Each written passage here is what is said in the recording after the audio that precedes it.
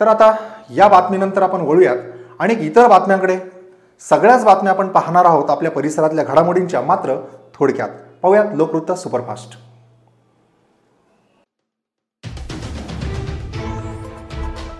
महाराष्ट्र राज्य लोकसेवा आयोगाच्या परीक्षेतून पी एस आय म्हणून निवड झालेली वाई तालुक्यातील भिवडी येथील मधुरा शिलाचा सत्कार तहसीलदार अतुल म्हेत्रे आणि भुईंज पोलीस ठाण्याचे सहाय्यक पोलीस निरीक्षक बाळासाहेब भरणे यांच्या प्रमुख उपस्थितीत झाला.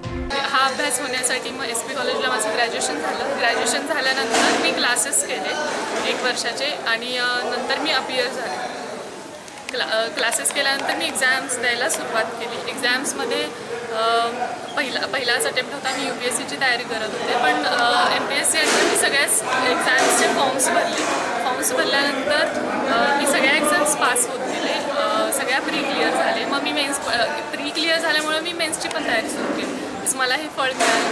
हे फळ कदाचित छोटंही असेल पण माझ्यासाठी ते शुभेच्छांसाठी माझ्यासाठी ते शुभेच्छा देण्याचं आयुष्यातलं पहिलं यश खरंच खूप खास असतं. मग ते छोटंसं का असेना? पण हे छोटं असलं तरी मी इथं थांबणार नाही आहे मी माझी वाटचाल पुढे चालूच ठेवणार आहे. माझे शंभर टक्के प्रयत्न करणार आहे. जोपर्यंत मी क्लास वन नाही होत तोपर्यंत मी स्वस्त नाही बसत थँक्यू एक आठ दिवसापूर्वी नुकताच बाहेर निकाल बाहेर पडला त्यावेळेला कुठेतरी आपण जे कष्ट घेतलं त्या कष्टाचं कुठेतरी चीज झालं समाधान झालं. माझी मुलगी ही पहिल्यापासूनच अ, हुशार आणि टॅलेंट असल्यामुळे हे जे यश संपादन तिनं ते केलं ते बऱ्याच अंशी तिचं सुद्धा मेहनत आणि कष्ट आहे. यावेळी दहावीच्या तसेच बारावीच्या परीक्षेत यश संपादन केलेल्या गुणवंत विद्यार्थिनींचा सत्कारही करण्यात आला. साताऱ्यातील एका शाळेत शिकवणाऱ्या दोन शिक्षकांनी शिक्षिका असणाऱ्या महिलेचा वारंवार विनयभंग केला. तसेच खोटे गुन्हे दाखल करण्याची धमकी दिल्याप्रकरणी शहर पोलीस ठाण्यात दोघांवर गुन्हा दाखल झाला आहे. शिक्षकाकडून शिक्षिकेचा विनयभंग झाल्याने शिक्षण क्षेत्रात खळबळ उडाली आहे. पहिल्यांदा विनयभंग केल्यानंतर शिक्षिका पोलीस ठाण्यात तक्रार देण्यासाठी जात असताना संशयिताने हातपाय पडून माफी मागून तक्रार न देण्याची विनंती केली. मात्र त्यानंतरही विनयभंग केला असल्याचे तक्रारीत म्हटले आहे.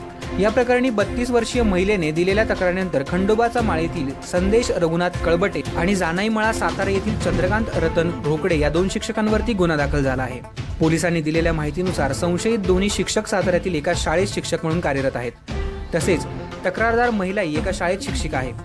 दोन हजार दहा साली संबंधित यातील एका शिक्षकाने शिक्षिकेचा हात पकडून विनयभंग केला.